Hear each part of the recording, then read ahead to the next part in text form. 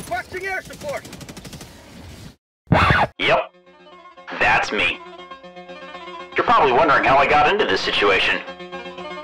Well, it's kind of a long story.